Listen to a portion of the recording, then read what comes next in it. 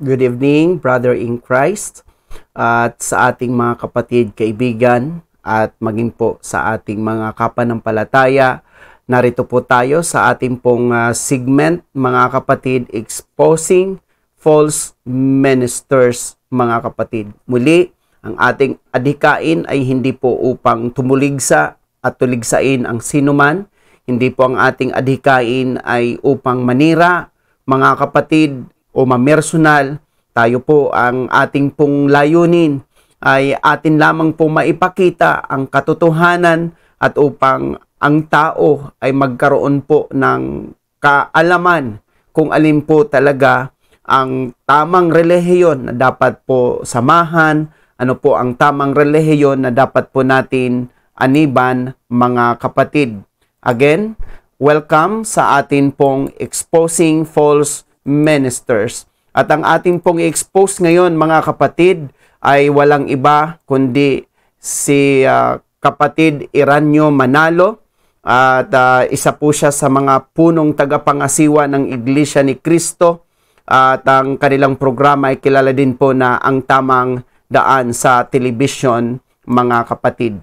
Kaya dito atin pong uh, makikita na ito pong uh, mga ministro din po ng Iglesia ni Cristo ay sabihin natin talagang tinutuligsa din po si Brother Eli Soriano kasi number one po yan na katunggali po nila sa pananaw uh, sa relihiyon. Uh, sinasabi po nila na talagang mapagmura si Brother Eli Soriano subalit hindi po nila napapansin na sila rin po ay nakakapagmura din po or nagmumura din po mga kapatid. Kaya bago po tayo magpatuloy, ating po munang kinala, kilalanin ang kanilang samahan mga kapatid. Iglesia ni Cristo, abbreviation po ay INC, classification ay Restorationism. And then ang kanilang governance ay centralized at ang kanilang executive minister, ang kaunahan po na punong tagapangasiwa ay si Brother Eduardo V. Manalo sa ang region po na kanilang nasasakop ay umaabot na po ng 153 countries and territories. And ang kanilang language ay Filipino, English, language of location of course, kung uh, sila po ay nasa uh, America or Latin America, sila po ay naglalatin. And then ang kanilang headquarters po ay nasa Quezon City, Philippines. Ang kanilang founder ay si uh, Felix si Felix Manalo, registrant to the Philippines government. At ang uh, origin po ay nung July 27, 1914, 105 years ago, date registered to the Philippines government. At uh, ito po ay uh, sa Punta, Santa Ana, Manila, Philippines Islands.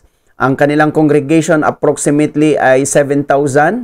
Uh, members po ay uh, umaabot daw raw po ng 3 million estimated worldwide. At ang kanilang hospitals ay New Era General Hospital.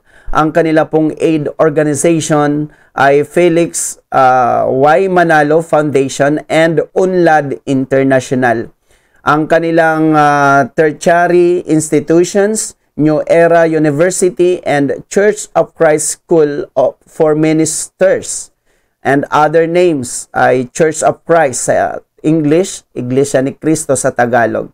Ang kanila pong office website or official website ay iglesianicristo.net mga kapatid. Yun po ang pagpa, pagkakakilanlan ng kanila pong samahan mga kapatid. Ngayon, uh, muli mga kapatid, uh, mahirap po yung uh, mamumunaho tayo sa ibang mga mga ngaral ng salita ng Diyos na mismo tayo mga namumuna ay gayon din po ang ating ginagawa. Muli mga kapatid, ay uh, sinabi ko na po kanina na ito po ay talagang number one na katunggali ng uh, dating ang dating daan kaya may programa sila din na ang tamang daan at uh, talagang tahasan po nilang sabihin po natin binabatikos dahil sa si Brother Eli Soriano ay kilala pong mapagmurang tagapangaral ng salita ng Diyos. Pero again, itong mga ministro rin po ng Iglesia ni Cristo ay mga ministro din pong mga mapagmura mga kapatid. Let us watch the video, brethren in Christ. Pero ang ibig mo ba sabihin niyan, kapatid na Ramil, ay tinatanggap mo talagang merong sugo, nagpapakilalang sugo pero gago. Ah, hindi lang ho sugong gago, sugong tarantado pa. Meron talaga niyan. At patutunayan namin na ang numero unong sinong sugong gago at tarantado pa, ikaw mismo yan, Mr. Soriano. Alam mo yan. Ayoko naman sabihin sira ulo talaga to si Mr. Soriano. Eh lumilitaw po dito, hindi lang tanga si Mr. Soriano, engot eh. Pero napakasama naman na ito palang mga tinutustusang ito, ito pala naninira sa iglesia, napakagagong pangangasiwa, na gumagastos ka para sa maninira. Mga kapatid, napansin po natin kung papaano rin po sila nagbibigkas ng mga masamang salita mga kapatid. Let us review and let us sum up the video that uh, we have been watched, brethren. Ito po ang mga mura na nabanggit. Binanggit po roon ang uh, gago, binanggit rin po ang tarantado, binanggit rin po ang siraulo, binanggit rin po ang tanga, binanggit rin po ang engot, at uh, binanggit rin po yung napakagago, mga kapatid. Ito po yung mga salitang binanggit doon po sa video, mga kapatid. Kaya makikita po natin na sila rin po talaga ay uh, nagmumura, mga kapatid. Kaya muli, sinasabi po natin mga kapatid, nararapat po ba sa isang tagapangaral ng salita ng Diyos ang maging uh, mapagtungayaw tayo, ang maging mapagmuraho tayo? Kasi again, uh, kapag nagsasalita tayo ng masama ay para bang uh, awkward at parang hindi nararapat sa isang tagapangaral ng salita ng Diyos. At lalo na na tayo po ay uh, ministro ng ating Panginoon. Kaya let us proceed brethren, palatandaan sa bulaang ministro. Ito po mga kapatid ang sinasabi po ni Santiago mga kapatid sa James 1.26, kung ang sino man ay nag-iisip na siya ay relihiyoso, samantalang hindi pinipigilan o pinipigil ang kanyang dila, kundi dinadaya ang kanyang puso, ang relihiyon ng taong ito ay walang kabuluhan. Kaya mga kapatid, para maging uh, makabuluhan ang ating relihiyon, kailangan po natin pigilin ang ating mga dila, mga kapatid kasi bahagi po ito ng pagiging relihiyoso.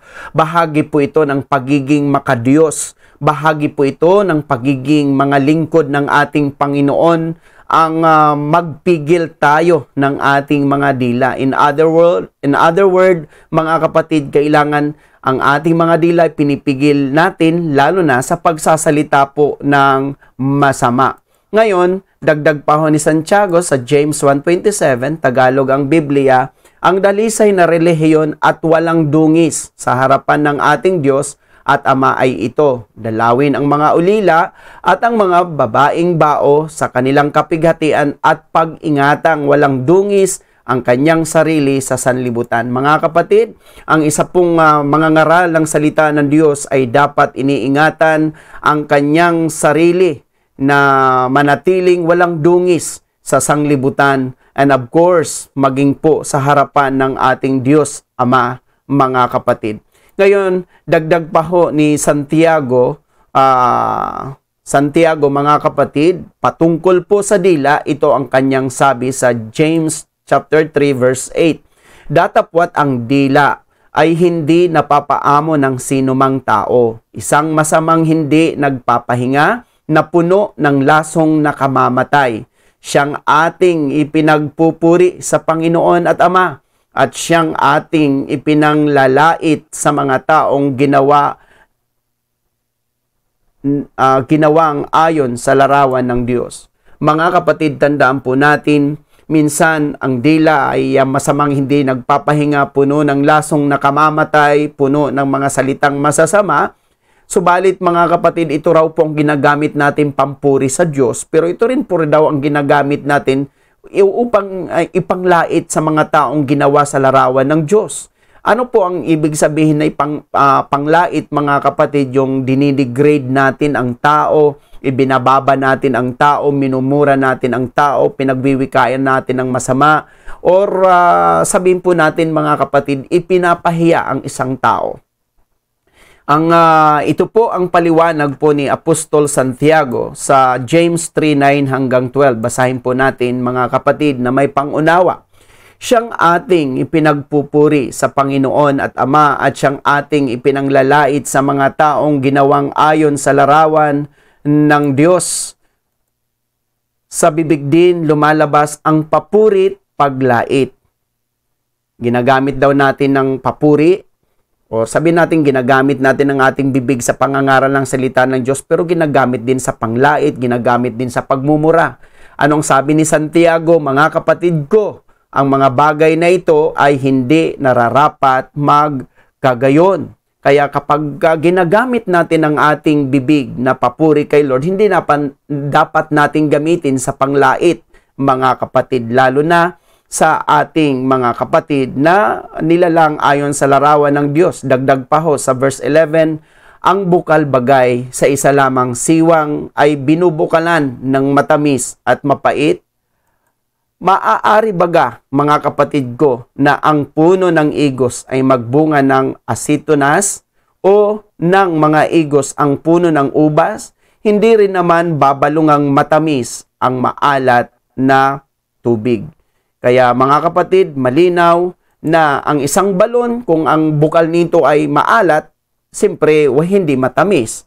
Kung ang bukal naman ng isang balon ay matamis, hindi naman po ang bukal nito maalat. Hindi daw pipede sa isang siwang, hindi pipede sa isang balon ay magsama ang bukal na matamis at bukal na maalat, mga kapatid. Gayon din daw po ang uh, igos ay hindi pwedeng magbunga ng asitonas, hindi rin po pwedeng magbunga ang igos ng ubas o ang ubas ng igos mga kapatid. Kaya kung ang ating mga bibig ay ginagamit po natin sa pangangaral ng salita ng Diyos, huwag po nating gamitin sa pagmumura, panglalait, pangdidegrade mga kapatid dahil hin, sabi ni Santiago, ang mga bagay na ito ay hindi nararapat magkagayon mga kapatid.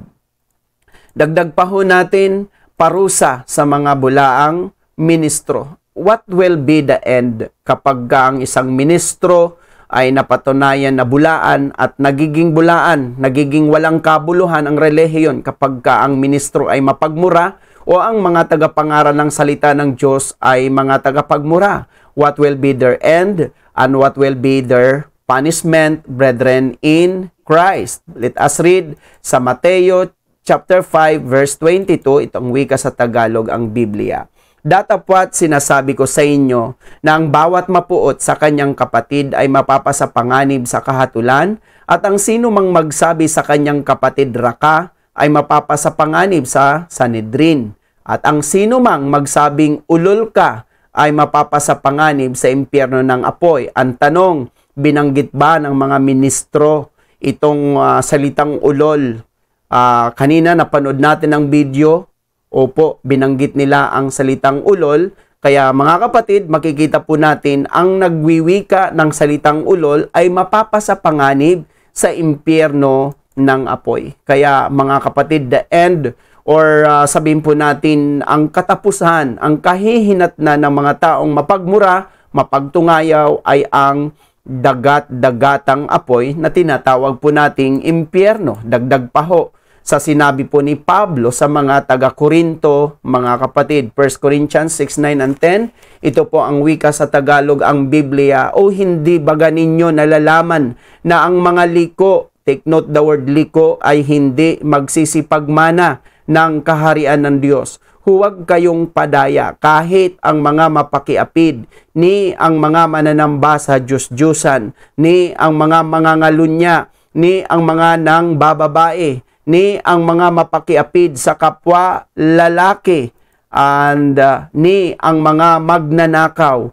ni ang mga masasakim, ni ang mga manglalasing, ni ang mga mapagtungayaw, ni ang mga manglulupig ay hindi mangagmamana ng kaharian ng Diyos. Take note, brethren, ang mga mapagtungayaw ay hindi mangagmamana ng kaharian ng Diyos. Kaya yung mga mapagmura, mapagtungayaw, mapanglait, mapangdegrade, mga kapatid, remember na hindi sila magmamana ng kaharian ng Diyos tulad ng binasa po natin na ang kanilang kahihinatnan ay ang dagat-dagatan na apoy at asupre, mga kapatid, which we called impyerno, mga kapatid.